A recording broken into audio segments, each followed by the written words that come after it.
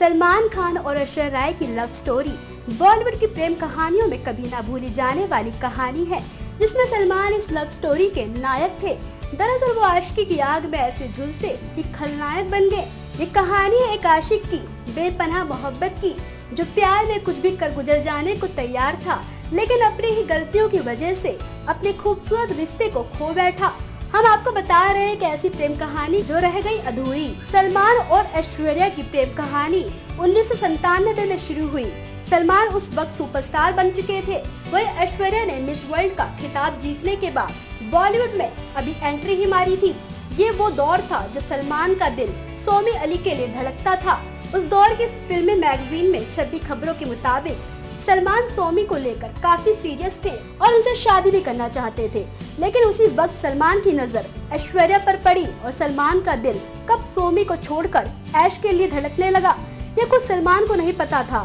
एक वेबसाइट पर दी एक इंटरव्यू में सोमी ने खुलासा किया था कि ऐश्वर्या की वजह से उनका और सलमान का रिश्ता टूट गया, जिसमें सोमी का दिल कुछ ऐसा टूटा था जिसमें आहत होकर वो हिंदुस्तान छोड़कर चली गई। एक मैगजीन के मुताबिक मंसूर अली की फ़िल्म जोश को करने से सलमान ने सिर्फ़ इसलिए इनकार कर दिया क्योंकि उस फ़िल्म में उन्हें ऐश्वर्या के भाई का किरदार निभाना था। कहते हैं कि सलमान ने ऐश्वर्या का करियर बनाने का बीड़ा उठाया और कई प्रोड्यूसर से उनकी सिफारिश भी की। सलमान की वजह से ही ऐश्वर्या को हम दिल दे चुके सनम जैसी बड़ी फ़िल्में मिली। सलमान के दोस्त संजय नीला भंसाली ने ऐश को इस फ़िल्म में ब्रेक दिया। यही वो फ़िल्म थी जहाँ से सलमान और ऐश्वर्या की प्रेम कहानी की शुरुआत हुई। फ़िल्म के शूटिंग के साथ दोनों एक दूसरे के करीब आने लगे। दोनों एक दूसरे के प्यार में जैसे डूब गए। कहते हैं इस फ़िल्म में दोनों की शानदार केमिस्ट्री के पीछे दोनों की असली मोहब्बत थी। ऐश्वर्या सलमान के परिवार वालों के भी करीब आने लगी। बताया जाता है कि सलमान के दोस्त ऐश्वर्या को भाभी कहकर बुलाते थे। दोनों सितारों की लव स्टोरी चल ही रही थी कि उनकी ज़िंदगी में एक ऐसा तूफ़ान आया जिसने सब कुछ हिलाकर रख दिया।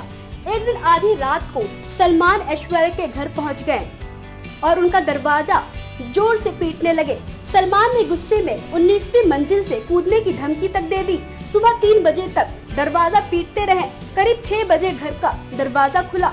सलमान के हंगामे के पीछे की वजह ये बताई जाती है कि वो ऐश्वर्या से शादी करना चाहते थे। लेकिन ऐश कामयाबी की सीढ़ी चढ़ ही रही थी और इस वक्त शादी नहीं करना चाहती थी। इस घटना के बारे में सालों के बाद सलमान ने खुद एक मैगजीन को दी इंटरव्यू में। कबूला था कि वो ऐश्वर्या के घर गए थे।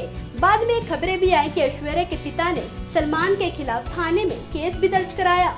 इन सारी खबरों की वजह से सलमान की काफ़ी बेजती हुई। सलमान बिना ऐश्वर्या को बताए अमेरिका चले गए। जब ऐश को ये बात पता चली तो वो बेहद नाराज़ हुई और उन्होंने ये रिश्ता खत्म करने का फैसला कर लिया। इसी के बाद सलमान ने एक और तूफ़ान खड़ा कर दिया, जिससे इनके रिश्ते के अंत पर मोहर लग गई। खबरों के मुताबिक सलमान ने ऐश्वर्या की फ़िल्म कुछ ना कहो के सेट पर हंगामा खड़ा कर दिया।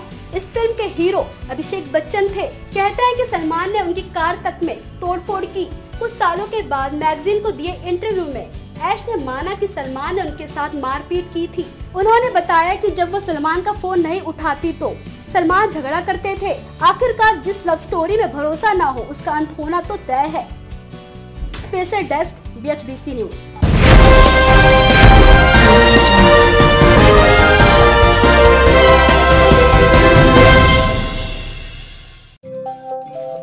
रोज की ताज़ा खबरें सुनने के लिए सब्सक्राइब करें बी न्यूज़ चैनल।